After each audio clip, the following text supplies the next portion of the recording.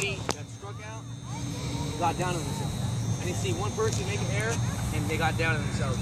Everybody picked themselves up. That's what we need. Okay, to stay positive no matter what. No matter if we're losing 50 to 0. We gotta stay positive. There's my baby. Now, now we're having fun, right? She's playing with the grass. But that's not gonna happen. Good, good, good job today on this win. You know, it was a tough game. These, these girls wanted it. They, they were battling.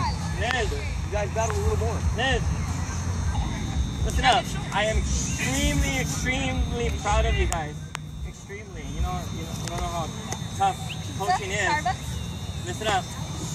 You don't, you don't know how tough it is, and sometimes it gets pretty tough. You know, I got, I got Cheryl behind on my oh back. I got Liz on oh my back. I got these coaches on my back. I got parents on my back. They're all signing the softball. and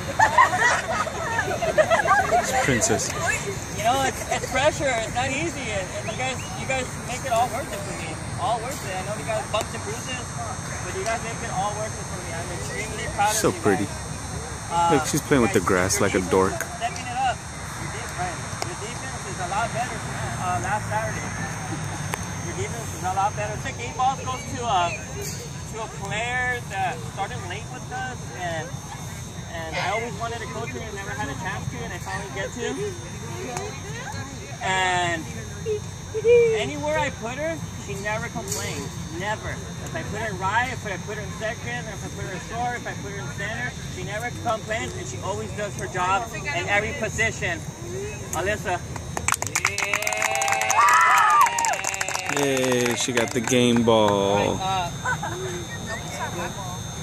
there's a few people I would like to give the game ball to, but Haley's uh, listening, by the way. but uh, today I'm gonna give this to, to somebody that really deserved it because they showed that they can they can be on.